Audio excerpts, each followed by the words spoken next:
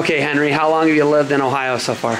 I've been living in Ohio for close to about, uh, I have to say about a month, month and a half now. With the trip to Turkey still? Yes. And London and where Prague and Yeah, we'll say a month. we'll say a month. Okay. Uh, what have you noticed about Ohio and being in Ohio and the wrestling in Ohio? oh, Ohio is the, the state is, you know, you think of Iowa, you think of uh, Pennsylvania, you think of all these wrestling states, and people, you know, I've heard of Ohio, oh, you know, the state of Ohio and wrestling. There's, you know, it's almost it, it's up there. I mean, the people are fanatics about the sport of wrestling. I mean, the the boosters out here. Look at, I mean, when when do you hear about a wrestling event? I mean, only at the beat the streets. They have galas like we are like we're gonna have today. I mean, it's amazing. Uh, I'm excited to be part of the program, part of the state like Ohio at this point. Do you know what's uh, next for Henry after 2012? Is that it?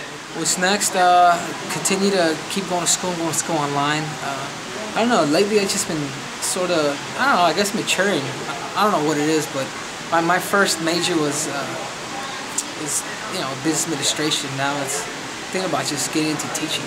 Teaching. Yeah. You know I'm a teacher? That's, are you really? Yeah. I'm Yeah, probably going to show this to my students tomorrow. it, it, you know, you, I've, I've had a chance to make money. I have quite a bit now, and I think, you know, I, I, I- love inspiring more and changing lives, and I think that's where I belong is changing people's lives. So I think if it's teaching or maybe having my own nonprofit, uh, but either way, I belong with people, and uh, I think that's what I'm. That's what I'm gunning for. I don't know. Maybe tomorrow I may feel different, but at this point, I've been thinking about it for a while. So I'm thinking about getting into teaching. Okay, 2009, I think you came to the Ohio State Wrestling Tournament. Remember that? Yeah. What did you think of that tournament? Oh, it's it's it's crazy. It's I wish I could wrestle in the state tournament just like that. I, I was actually fortunate to wrestle in uh, Colorado State, and that's huge. But Ohio, it's just like the people just know they're wrestling, and uh, for them to honor Olympic champion, they don't even know me. They just, just say, you know, we want to honor you.